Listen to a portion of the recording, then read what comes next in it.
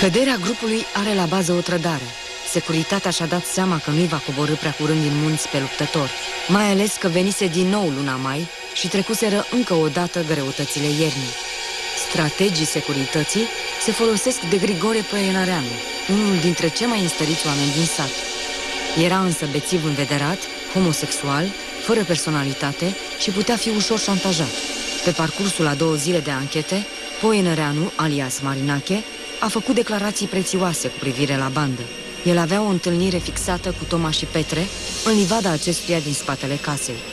De capcană s-au ocupat călăi notorii ai securității, capitanul Cârnu și capitanul Pleșiță.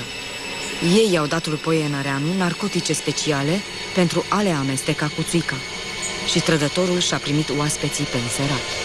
Toma și Petre, având de plină încredere, așteaptă în livadă venirea lui Grigore și a lui Ticu Nicolae Sorescu. Beau din țuică și vorbesc.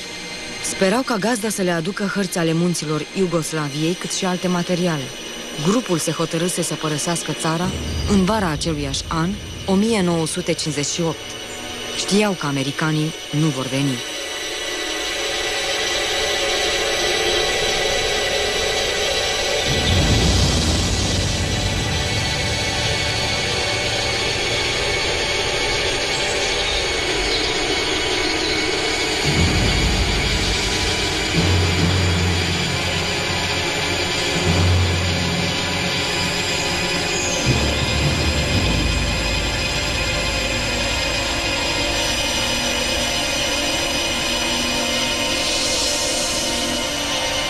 Grigore, conform planului, simulează că i-a amețit și roagă pe Toma să-l ducă acasă.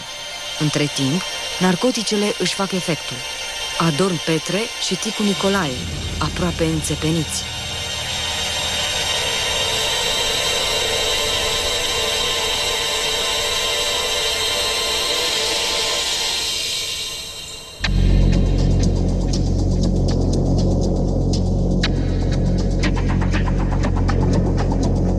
În documentul securității se precizau simptomele care duc la un somn adânc de circa 10-12 ore. Unii pot să cadă în letargie, dar nu mai judecă. Toma se întoarce și cade și el trăsnit. Era în jur de ora 1 noaptea.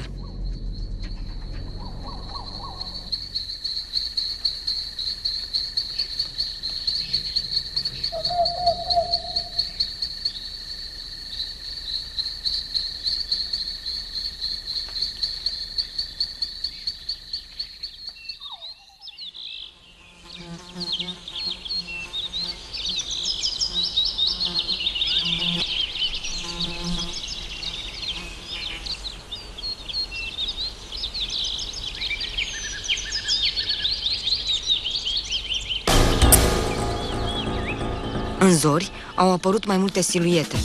Păreau civili, dar erau agenți travestiți cu armele îndreptate către cei căzuți la pământ.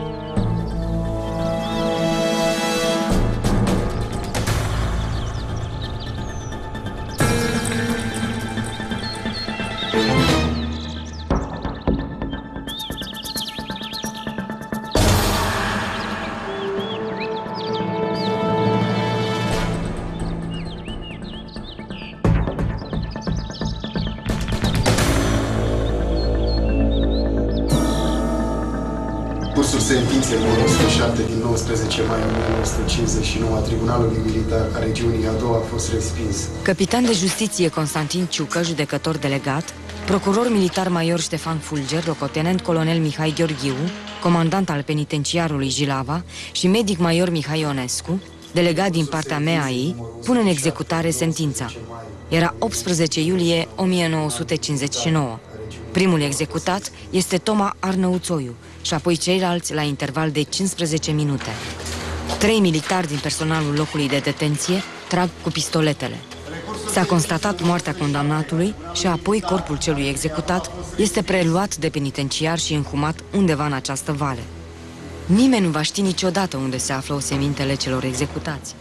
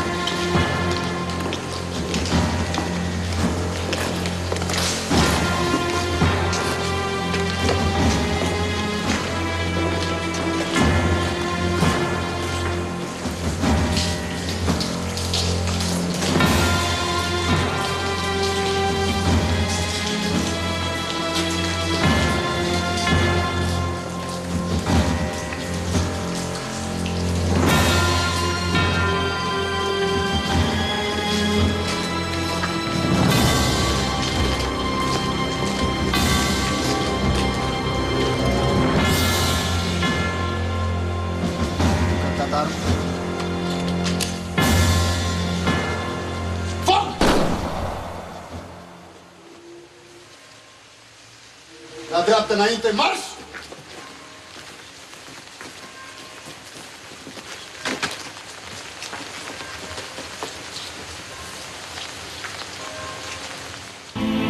Eu sunt metal rămas din lumi ce crima le-a făcut cenușă. Eu sunt ecoul veșnic sunător din lumi, din lumi apuse.